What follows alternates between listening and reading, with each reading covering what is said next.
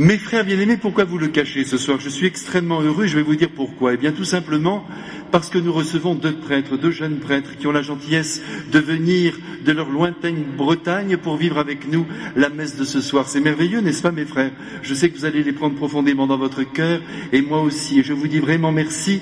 Ça sort de mon cœur de prêtre parce que je suis tout à fait rassuré en pensant que dans les années qui vont venir, eh bien la relève est assurée. Nous, nous sommes déjà de vieux loups de mer, tandis qu'ils commencent. D'autant plus que l'un d'entre eux m'a assuré que dans sa région, la foi était encore vigoureuse, c'est merveilleux. Les églises sont encore pleines à Saint-Malo.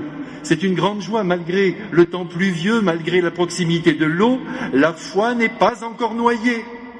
C'est parfait, mes frères, et nous sommes heureux. Et on espère que notre Sud aussi n'oubliera pas complètement notre Seigneur Jésus-Christ. En tout cas, c'est avec vous, chers frères, et avec vous tous, mes frères, que nous recevons ce soir cette belle parole de notre Seigneur. Et j'espère qu'elle va transformer notre vie. Je l'espère de tout cœur parce que le risque est grand d'écouter l'Évangile et de sortir de cette Église comme nous y sommes entrés. Vous comme moi, nous devons ce soir observer en nous un progrès alors mes frères, vous êtes d'accord? Nous allons essayer. Regardez ce que nous dit Jésus. Il nous dit, il nous rappelle entre les lignes que nous sommes la lumière du monde. C'est ce qu'il nous dit. Nous sommes semblables aux lampes qui brûlent dans nos maisons et les lampes, évidemment, à moins d'être fous, nous ne les plaçons pas sous le lit. Notre action, mes frères bien-aimés, parce que tout est là au fond, le mouvement même de notre vie doit être un mouvement éclairant, pour ne pas dire éclatant souvent en raison d'un prétendu, une prétendue humilité. On nous dit qu'il faut rester dans notre coin. Je vous rappelle, mes frères, que notre Seigneur est resté dans son coin pendant 30 ans. Il s'est bien préparé, il nous a montré la valeur de la vie cachée. Mais ensuite, lorsqu'il a commencé sa vie publique, il s'est exposé et les apôtres avec lui. Sinon, tout le monde serait mort dans son lit. Se sont tellement exposés qu'ils ont été tués. Eh bien, nous aussi, mes frères, nous sommes en train, en ce moment, de vivre notre vie publique. Vous, comme moi, et comme les prêtres qui sont ici. Donc, nous devons nous exposer. Il faut que notre action, je le redis, soit éclairante et même éclatante. Et Jésus poursuit sur la question du jugement, on se demande même ce que ça vient faire là. Oh, soyez rassurés, il y a un sens c'est que très souvent, quand nous sommes bien installés dans notre canapé et que nous nous croyons humbles parce que nous ne faisons rien, nous critiquons ceux qui sont sur l'avant-scène, sur le proscénium, vous savez, entre la rampe et le rideau au théâtre.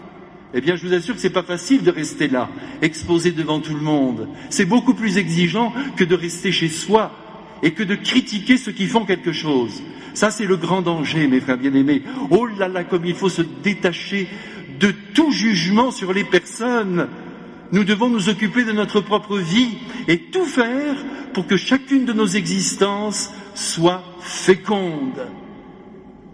Si Dieu se sert de tel ou tel être pour faire quelque chose, applaudissons, mes frères, réjouissons-nous. N'allons pas chercher derrière son action s'il n'y a pas quelque chose qui ne va pas. Je vous rappelle que nous sommes tous mortels et que nous donnons donc un petit coup de main au Christ pendant quelques années. Et plus nous sommes nombreux, mieux c'est. Et plus c'est visible, plus ça fera du bien. Sinon, le monde restera dans l'obscurité. Maintenant, si nous avons reçu une vocation monastique, alors très bien, nous allons dans un beau monastère, c'est merveilleux, c'est exigeant. Ah oui, là encore. Mais nous travaillons par le sacrifice, par le don de nous-mêmes, par une prière incessante à la rédemption du monde. Très bien, la vocation, là, demeure cachée. Dieu la voit et Dieu s'en sert, mais ce n'est pas la nôtre. Nous, je vous rappelle, mes frères, à moins que je me trompe sur votre état, mais nous sommes dans le monde. Nous ne sommes pas du monde, mais nous sommes dans le monde. Et donc, nous devons nous exposer.